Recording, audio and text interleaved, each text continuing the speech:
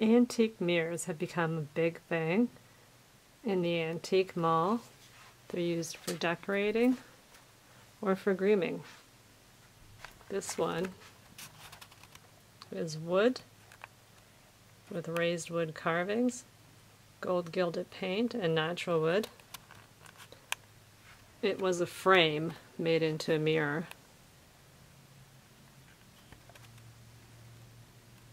Here's another vintage beveled mirror. It's made in metals.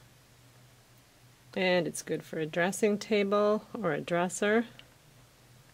Long, ornate mirror, gold leafed.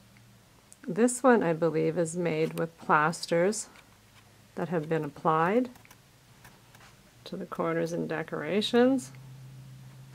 They're a bit more fragile. Lots of detail.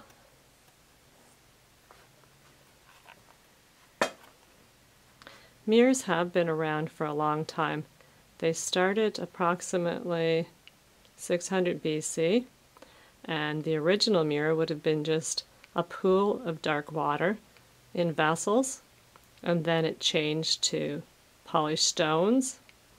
After that, it would have been metals of brass, bronze, coppers.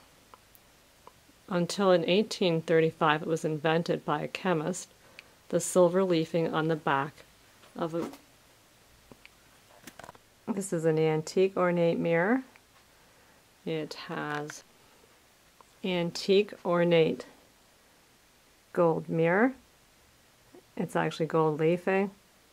It has raised designs that would be done in plasters. It's a lot more fragile. A lot of time the pieces have come up and need to be worked on. This is a gold leaf mirror. It has raised plaster designs it's pretty fragile. A lot of times the plaster designs have to be repaired. This is an old antique mirror.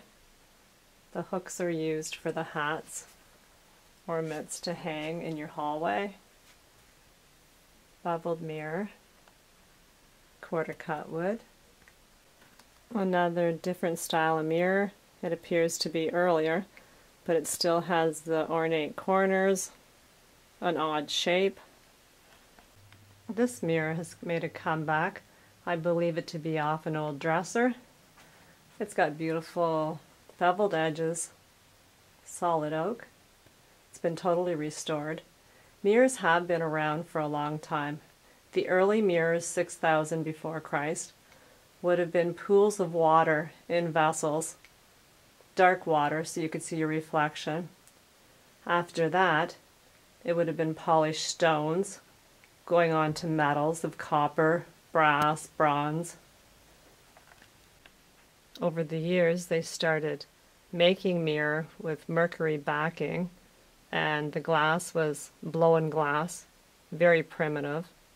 About 1835, a chemist figured out how to silver the back of a mirror and then we started manufacturing it and it started getting to be a better price and easy to make. This here is a shabby chic. People like to take the mirrors and paint it white nowadays. This is a quarter cut oak round mirror with the carved duck, beveled, beautiful oak.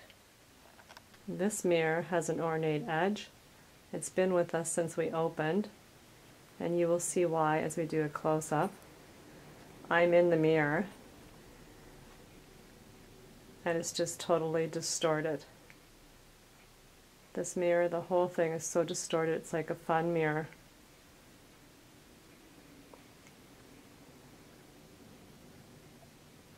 But it looks neat.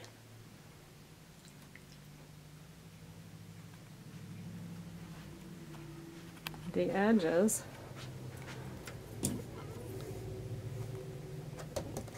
feel like a wood. They're very decorative. It's a decorative wood edge. It's just the funnest mirror. I can't believe somebody hasn't bought it just because of the, distortion of it.